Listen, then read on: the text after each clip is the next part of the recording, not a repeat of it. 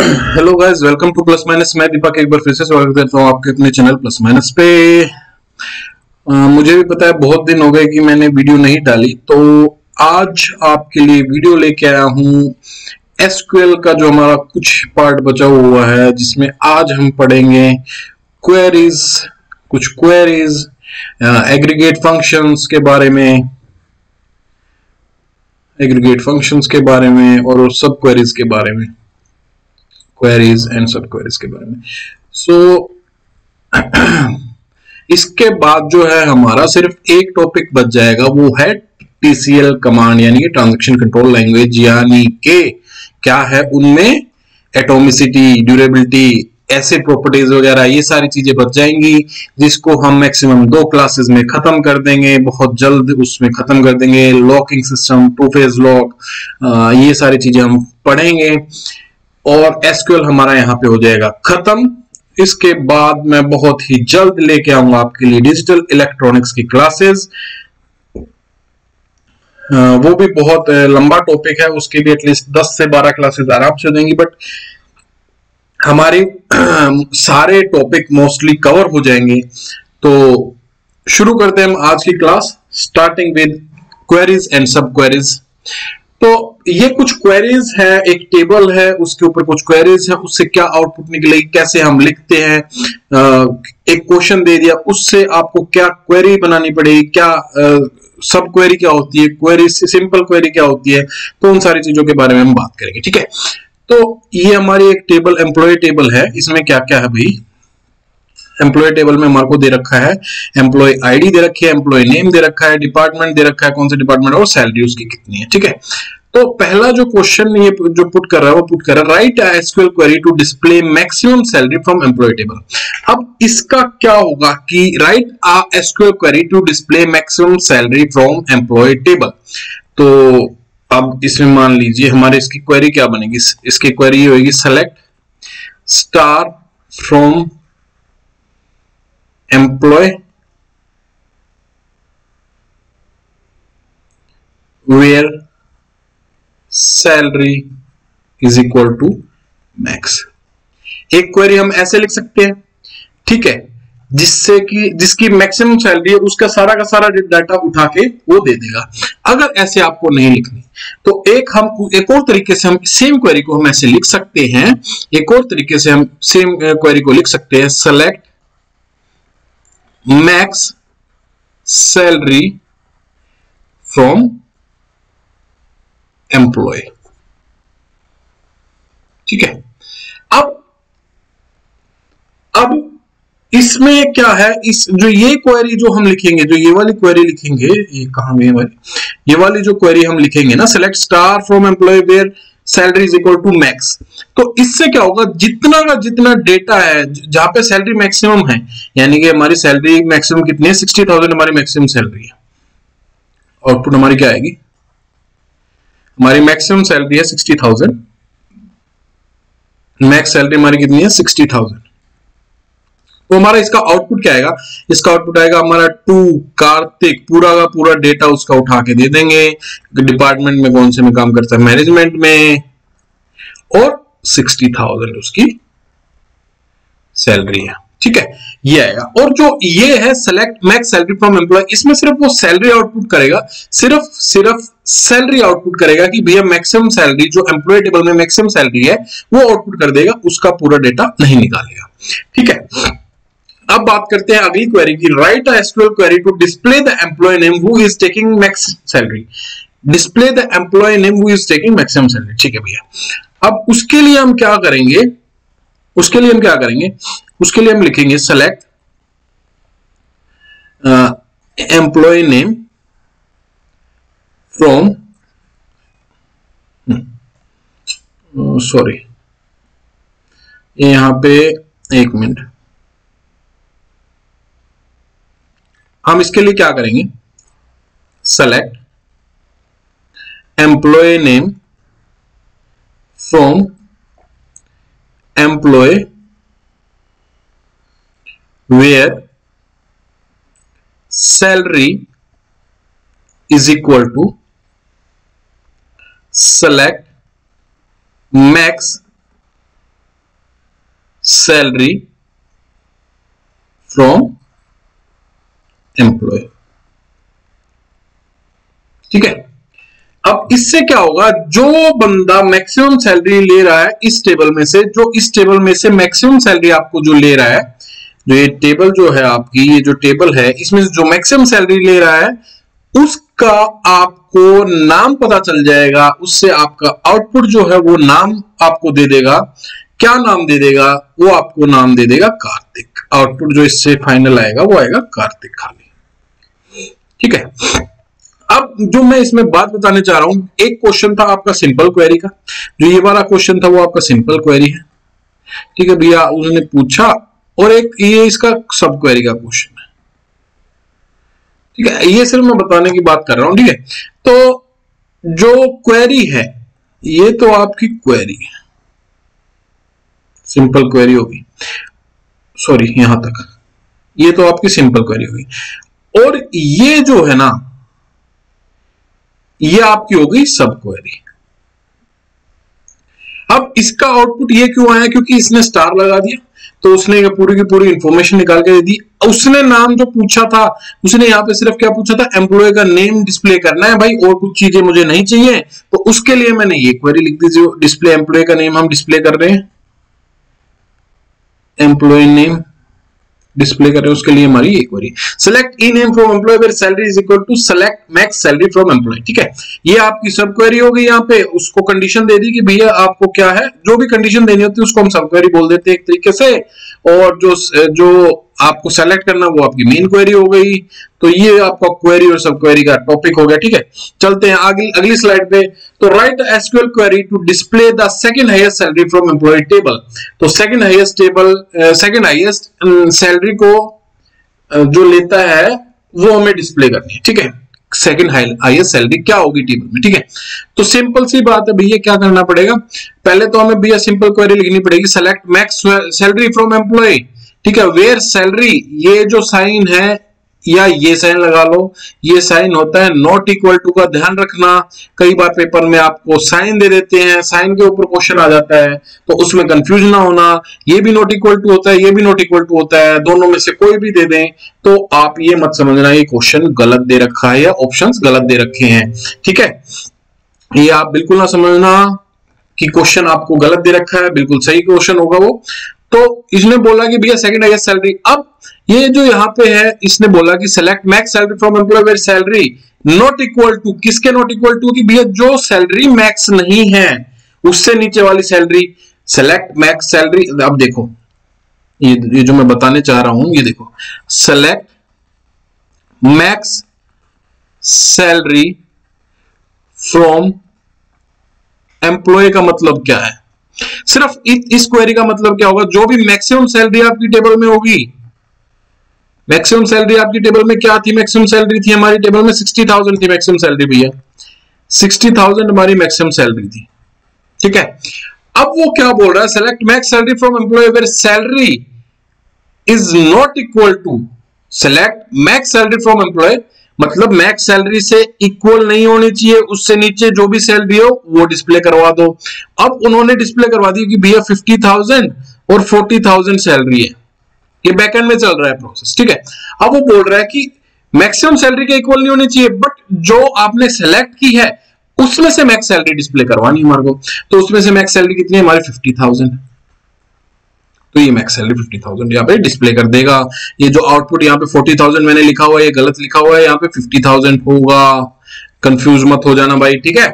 तो अगली क्वेरी की तरफ़ चलते हैं। Write a query to display all the department name along with the number of employee working in that तो एक एक एक एक चीज़ होती है ग्रुप बाय के नाम से ठीक है? ग्रुप बाय के नाम से एक हम एक, एक बोल देते हैं कि एसक्यूएल में हम यूज़ करते हैं। Keyword group by group by के नाम से। तो ग्रुप बाय क्या करेगा? जितने भी डिपार्टमेंट हैं, ठीक है? जितने भी डिपार्टमेंट हैं, वो सबको जितने उनमें काम करते हैं, उन सबको ग्रुप बना देगा एक। एक ग्रुप जैसे आईटी के आईटी में दस बंदे काम करते हैं तो आईटी आईटी आईटी आईटी उनका ग्रुप बना देगा। मैनेजमेंट में दस बंदे काम करते हैं तो मैनेजमेंट का अब फ्रॉम एक के बाद एक ऐसे बना देगा आईटी का एक बार मैनेजमेंट का एक बार एचआर का एक बार, ठीक है? ऐसे ऐसे जितने भी डिपार्टमेंट है तो वो हर एक का अलग अलग ग्रुप बना देगा, ठीक है? तो उसके लिए क्या हम क्वेरी लिखेंगे? उसके लिए क्वेरी लिखेंगे select department count star from employee group by department अब इसका क्या मतलब हुआ भाई? कि उसने भैया किस चीज़ को, किस चीज़ को ग्रुप करना है डिपार्टमेंट को ग्रुप करना है? तो ग्रुप बाय हमने डिपार्टमेंट कर दिया यहाँ पे पहले तो। ठीक है? अब वो बोल रहा है कि भैया कितने नंबर ऑफ़ एम्प्लॉय काम करते हैं, वो भी मेरे को बताओ। तो हमने क्या किया? सेलेक्ट डिपार्टमेंट काउंट हमने जो डिपार्टमेंट में बंदे काम करते हैं ना स्टार जितने भी बंदे काम करते हैं, उन सारे की इंफॉर्मेशन कितने बंदे काम करते हैं कि भैया जितने भी, हर एक डिपार्टमेंट में जितने बंदे काम करते हैं, हर एक का मुझे काउंट करना है। अब मान लीजिए, यहाँ पे एक और बंदा होता, चार, जिसका नाम है अनाया और वो काम करती है आईटी में, और उसकी सैलरी थी ट्वेंटी थाउज़ेंड तो यहाँ पे क्या आएगा? यहाँ पे आईटी ये ग्रुप बाई से तो क्या होगा भैया? ग्रुप बाई से तो यहाँ पे क्या होगा कि भैया one, Deepak IT fifty thousand और फोर अनाया, मैंने ग्रुप बाय का बता रहा हूँ, अनाया आईटी ट्वेंटी थाउज़ेंड अब सेकंड कार्तिक हो गया मैनेजमेंट मैनेजमेंट में एक और होता तो वो भी मैनेजमेंट का इधर आ जाता। डिपार्टमेंट के हिसाब से वो मैनेज कर रहा है, हर एक का अलग अलग मतलब एक ग्रुप बन जाता आईटी का ये ठीक है? ये बात समझ में आएगी कि ग्रुप बाय का क्या मतलब है कि ग्रुप बना लिया उसने कि हर एक जो डिपार्टमेंट वाइज उसने ग्रुप बना लिया आईटी का अलग ग्रुप बना लिया मैनेजमेंट का अलग ग्रुप बना लिया एचआर का अलग ग्रुप बना लिया, ठीक है? अब बात करते हैं कि डिपार्टमेंट काउंट क्या कर रहा है? वो डिपार्टमेंट क्या, अगर वहाँ पे मान लीजिए कि यहाँ पे अनाया और होती है फोर्थ पे तो यहाँ पे जो है ना हमारा काउंट करेगा कि भैया अनाया आईटी में दो बंदे काम करते हैं मैनेजमेंट में एक बंदा काम कर रहा है एचआर में एक बंदा काम कर रहा है। तो आउटपुट हमारी कुछ इस तरीके से शो होगी। ठीक है? बात समझ में आ रही है? ठीक है, चलो भाई, अगले चलते हैं। आप आगे क्या बोल रहा है? इन और नोट इन में आपको बता चुका हूँ बट फिर भी एक एक तरीके से मैं एक और चीज़ ले रहा हूँ इसमें। एक और आपको समझ में अच्छे से आ जाए तो एक एग्जांपल और ले रहा हूँ। ये हमारी एम्प्लॉय टेबल है। ठीक है? इसको हम एम्प्लॉय टेबल बोल देते हैं, और ये हमारी प्रोजेक्ट टेबल हम बोल देते हैं। ठीक है? प्रोजेक्ट टेबल बोल देते हैं। ये हमारी प्रोजेक्ट टेबल बोल देते हैं। ठीक है? तो चलते हैं भैया, ये बोल रहा है कि write a query to find details of employee address is इधर दिल्ली और चंडीगढ़ और पुणे ठीक है भैया? तो हमें एक क्वेरी लिखनी है जिस जो एम्प्लॉय की एक एक डिटेल निकाल ले, जिसका एड्रेस या तो दिल्ली हो या चंडीगढ़ हो या पुणे हो। तो हम क्या लिखेंगे? सेलेक्ट स्टार फ्रॉम एम्प्लॉय हम क्या लिखेंगे भाई? हम लिखेंगे select star from table name table name हमारी क्या है? Employee whose address is whose address in okay okay एक मिनट। ठीक है? एक minute. Whose address in address in Delhi Chandigarh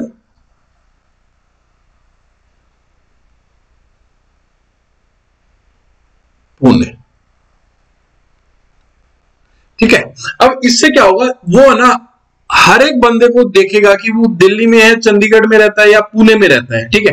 तो उससे क्या हमारे आउटपुट आ जाएगा? हमारा एक ऐसे आउटपुट करके आ जाएगा, भैया, कि वो फ़र्स्ट वो देखेगा एड्रेस उसका कहाँ का है? चंडीगढ़ का है? भैया हाँ सिलेक्ट कर लो। सेकंड कार्तिक कहाँ का है? दिल्ली का है? सिलेक्ट कर लो। चौथा, आदित्य कहाँ का है? चंडीगढ़ का सिलेक्ट कर लो। पांचवा, अनाया कहाँ की है? पुणे की है? सेलेक्ट कर लो। तो उससे हमारी कुछ इस तरीके से टेबल आ जाएगी। टेबल के फॉर्म में हमारे को शो कर देगा, ऐसे हमारी आउटपुट शो कर देगा। ठीक है? अब नोट इन ठीक है? नोट इन अब ये तो हमारा इन का हो गया। अब नोट इन के लिए हम क्या करेंगे भैया? ठीक है नोट इन का जो हम एग्ज़ाम्पल लेंगे नोट इन का जो हम एग्ज़ाम्पल लेंगे, वो भी कुछ ऐसा ही लेंगे, ठीक है भैया? तो नोट इन के एग्ज़ाम्पल लेंगे तो उसकी क्वेरी क्या होगी? सेम चीज़ है हमारे को। Write a query to find details of employee whose address is not in Delhi Chandigarh और पुणे जो दिल्ली चंडीगढ़ और पुणे में नहीं रहता, उसके लिए हमें एक क्वेरी लिखनी है। तो उसके लिए हमारी क्या क्वेरी होगी? उसके लिए हमारी क्वेरी होगी select star from from employee whose address not in कहाँ कहाँ पे नहीं होना चाहिए? दिल्ली में नहीं होना चाहिए। चंडीगढ़ में नहीं होना चाहिए। चंडीगढ़ में नहीं होना चाहिए। और पुणे में नहीं होना चाहिए। तो इससे हमारे को क्या आउटपुट मिलेगी? इससे हमारे को आउटपुट मिलेगी, भैया, जो दिल्ली, चंडीगढ़ और पुणे नहीं है, उसके अलावा सभी को आने तो भैया, दिल्ली, चंडीगढ़ और पुणे में हमारे साथ दीपक था, कार्तिक था, आदित्य था और अनाया थी। यानी कि हमारे को जो बेंगलोर का एड्रेस है, वो हमें चाहिए दिल्ली, चंडीगढ़ मतलब ऊपर वाली टेबल के हिसाब से हमारे सिर्फ़ बेंगलोर में जो है, वो वाला बंदा चाहिए। अगर यहाँ पे बेंगलोर के और भी दो तीन और आउटपुट होते, जो दो तीन और इनपुट होती इस टेबल में तो बेंगलोर मतलब सिर्फ़ दिल्ली, चंडीगढ़ और पुणे को छोड़ के सारी की सारी वो शो कर देता। तो हमारे को क्या, हमने स्टार लगाया था तो सारी की सारी इंफॉर्मेशन शो कर देगा। तो आउटपुट हमारा क्या आएगा? तीन नवीन और एड्रेस उसका क्या था? बेंगलोर। बेंगलोर। ठीक है, ये हमारी, ये हमारा जो है आउटपुट आ जाएगा। होप सो आपको ये सारी चीज़ें समझ में आ रही हो। चलते हैं अगले स्लाइड की तरफ़। तो ये बोल रहा है कि भैया find the name of employee who are working on a project कि ऐसा ऐसा क्वेरी लिखे जो कि किसी ना किसी प्रोजेक्ट पे काम कर रहा हो। उस सभी का एम्प्लॉय हम एम्प्लॉय हम एम्प्लॉय का नाम हम निकाल दें। ठीक है? एम्प्लॉय का नाम हम निकाल दें। तो भैया, ठीक है, इसमें हम, ये आपकी जो है फॉरन की और वो वाली चीज़ है, वो सब आपका प्राइमरी की है यहाँ पे प्राइमरी की है। ये यहाँ पे फॉरन की हो जाएगी इसमें। एम्प्लॉय आईडी यहाँ पे फॉरन और यहाँ पे प्राइमरी की वर्क करेगी प्रोजेक्ट आईडी ठीक है? या प्रोजेक्ट नेम जो भी है, जैसा भी है प्रोजेक्ट आईडी बट प्राइमरी की काम करेगी, ठीक है? तो ये बोल रहा है कि, वो निकाल, उन सभी का नाम लिखाई निकालिए जो किसी ना किसी प्रोजेक्ट पे काम करते हैं। तो इसके लिए हमारी क्वेरी क्या रहेगी? इसके लिए हमारी क्वेरी ये रहेगी, मैंने लिख रखा है select employee name from employee employee में से एम्प्लॉय नेम निकालना है, जिसकी ID where ID in select E ID from project यानी कि जिसकी आईडी जो है, वो प्रोजेक्ट में है। किसी ना किसी प्रोजेक्ट में डिस्टिंक्ट अगर नहीं लगाएँगे तो भी कोई दिक्कत नहीं होगी। डिस्टिंक्ट का मतलब कि एक आदमी अगर दो प्रोजेक्ट्स पे काम कर रहा हो तो वो दो जगह ना दिखाए उसको। कहीं, जैसे मान लीजिए दीपक आईटी में भी काम करता है, दीपक मार्केटिंग में भी काम करता है, ठीक है? तो ये ऐसे ना आउटपुट दे दे दीपक दीपक और नवीन और आदित्य और अनाया। ऐसे ना डिस्ट्रिक्ट हमने इसलिए लगाया कि भैया, एक आदमी का नाम आ गया उस प्रोजेक्ट में तो सिर्फ़ एक ही बार आएगा, दीपक, नवीन, आदित्य और अनाया। ठीक है? तो इसलिए मैंने डिस्टिंग लगाया। Select E name from employee where E I D in select distinct E I D from project तो ये हमारी, ये जो है, इससे हमारा वो नेम ई नेम जो भी प्रोजेक्ट किसी ना किसी प्रोजेक्ट पे काम कर रहे हैं, वो आपको आउटपुट दे देगा। यानी कि दीपक किस पे, दीपक ये देखेगा कि भैया, जो पहला है ईआईडी e पहली है, वो वो है ईआईडी e पहली है, वो किसी प्रोजेक्ट पे काम कर रही है। हाँ जी आईटी के प्रोजेक्ट पे काम कर रही है लोकेशन उसकी बैंगलोर है लोकेशन से हमें फ़र्क नहीं पड़ता। जो उसने क्वेरी बोली थी, वो फिर वो देखेगा, भैया, दो, कार्तिक किसी प्रोजेक्ट पे काम कर रहा है, कार्तिक नहीं कर रहा तो इसको छोड़ दो। तीसरा, नवीन किसी प्रोजेक्ट पे काम कर रहा है, कर रहा है, भाई, किस पर एंड्रॉइड बेस पे प्रोजेक्ट पे काम कर रहा है। चौथा, आदित्य किसी प्रोजेक्ट पे काम कर रहा है, भाई हाँ बिल्कुल कर रहा है। आदित्य प्रोजेक्ट पे काम कर रहा है। आईओएस प्रोजेक्ट पे काम कर रहा है।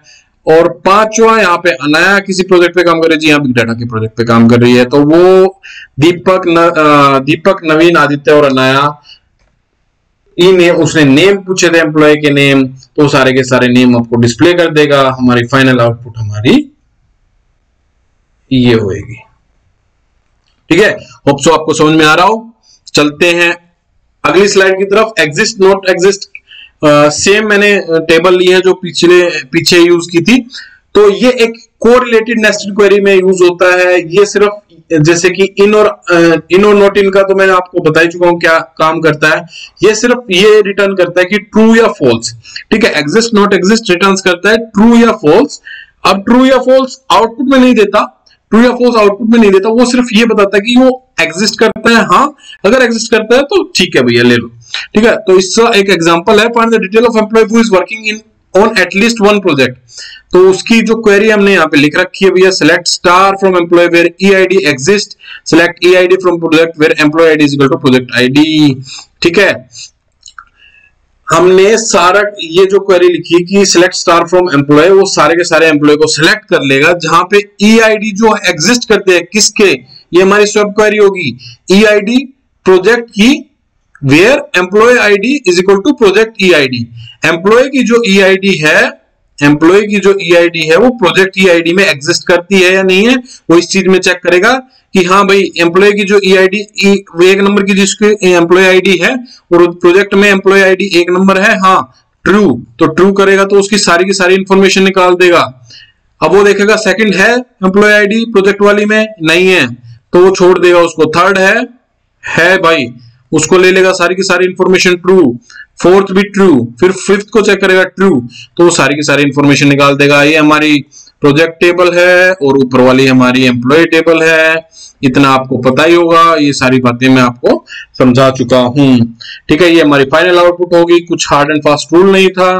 अब सेम नोट इन का नो, नोट एग्जिस्ट का होता तो वही सेम सारी चीज़ लिख के, ये सारी चीज़ें लिख के, यहाँ पे एम्प्लॉय आईडी नोट एग्जिस्ट के, यहाँ पे not exist E ID exist है, यहाँ पे नोट एग्जिस्ट तो वहाँ पे जो भी इसमें नहीं है टेबल में इनके अलावा जितने भी डिटेल होती वो सारी वहाँ पे डिस्प्ले कर देता।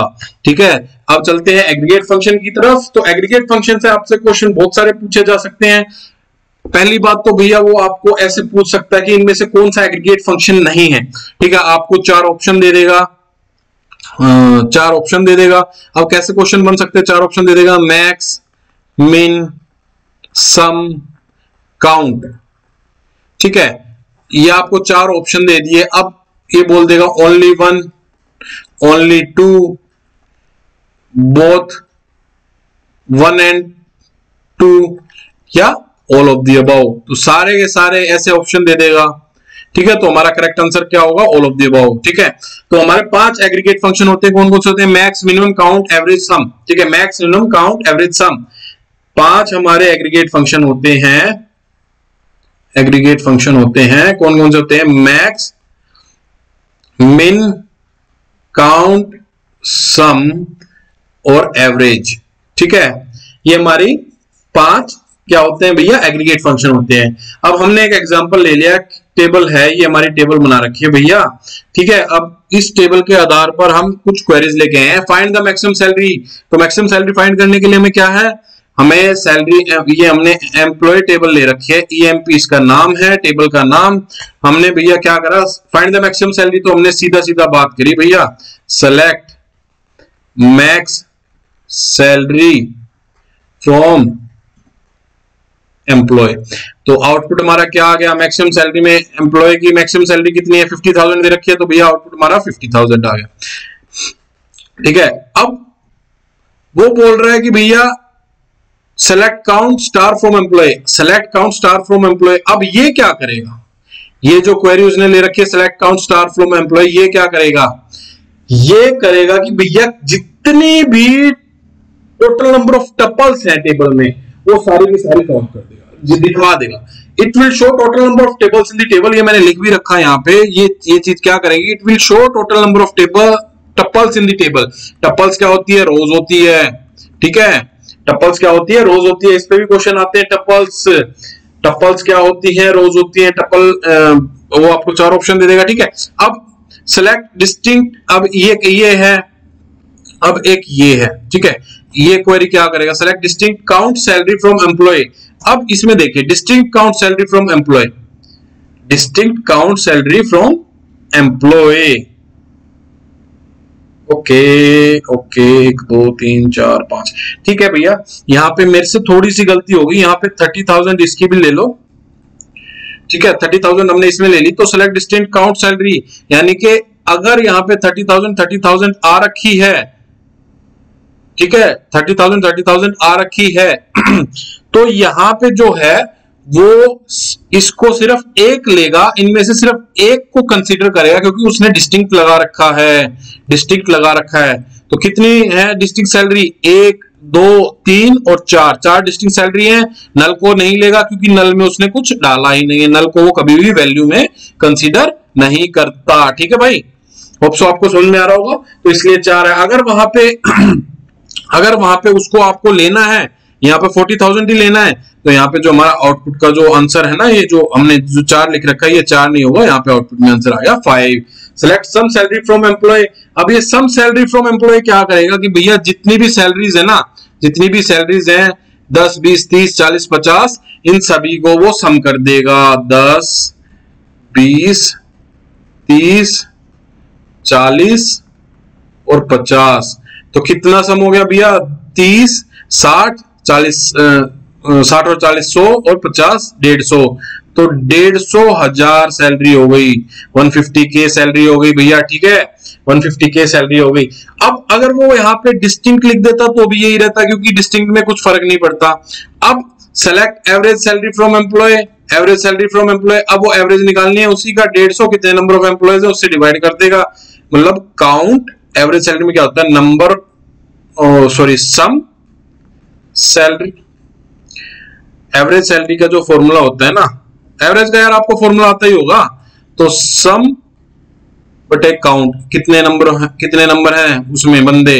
ठीक है? सम बटे काउंट यानी कि total number total number of मतलब sum upon number of terms number of terms ये होता है तो उससे आपका पूरा का पूरा आपका एवरेज निकल जाएगा, वो पूरा फाइंड कर देगा एवरेज तो ये थी आज की क्लास जो कि बहुत दिनों बाद आपकी क्लास को आज मैं लेके आया हूँ आपके सामने। और बहुत जल्द ही मैं आपके लिए नई क्लास लेके आऊँगा। दो क्लास बची हुई है इसमें, मेरे ख्याल से दो क्लास में मैक्सिमम आपका सारा का सारा कवर हो जाएगा। होप सो कि एक थोड़ी सी लंबी एक्सटेंड करके मैं एक ही क्लास में सारा खत्म कर दू चीज़ें। पर आपका जो डीबीएमएस का टॉपिक है, वो बहुत जल्द खत्म होने वाला है। ध्यान रखिए, अपना और अपने परिवार का पढ़ते रहिए। और जिसने लाइक सब्सक्राइब नहीं किया प्लीज़ भैया कर दीजिए। ऐसे हँसते रहिए, मुस्कुराते रहिए, फिर मिलेंगे अगली क्लास में एक नए टॉपिक के साथ। Till then take care bye see you in the next class